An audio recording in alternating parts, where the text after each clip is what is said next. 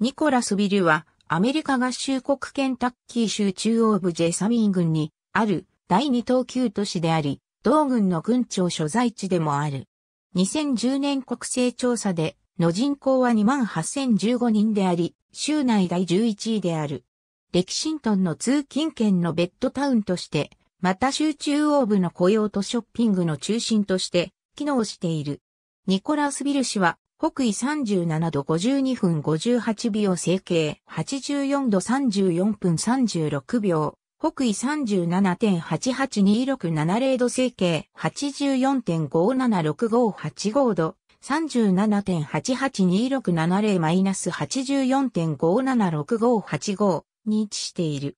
アメリカ合衆国国勢調査局によれば、地域全面積は13.08平方マイルであり、このうち陸地13.01平方マイル、水域は0.07平方マイルで、水域率は0.52%である。ニコラスビルは1798年に設立された。しかし正式に法人化されたのは1837年になってからだった。町の名は1792年、ケンタッキー州憲法の父と呼ばれた、ジョージ・ニコラス大佐にちなんで名付けられた。市内にあるヤングハウスはアメリカ合衆国国家歴史登録財に指定されている。ゼサミン郡庁舎以下は2010年の国勢調査による人口統計データである。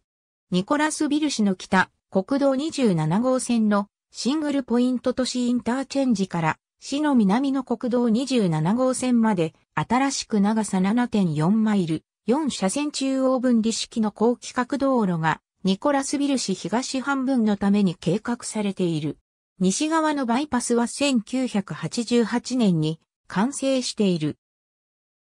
2002年9月、連邦政府公企画道路管理局が環境影響評価書を承認した。1500万ドルと見積もられた通行券買収は2006年に始まり、公益事業船の移し替えが2007年に、建設工事が2008年に始まった。総建設費は7300万ドルと推計されている。ケンタッキー州交通キャビネットによれば、この道路が開通すると、西バイパスを5万8000台、東バイパスを4万5000台が使うことになると予測されている。レキシントン地域ンポは、ファイエット郡とジェサミン郡の交通計画を担当している。これには、カープールマッチング、通勤用相乗り計画の管理、大気質予報、自転車道と歩道の計画、渋滞緩和策、交通計画の策定と文書化が含まれている。ありがとうございます。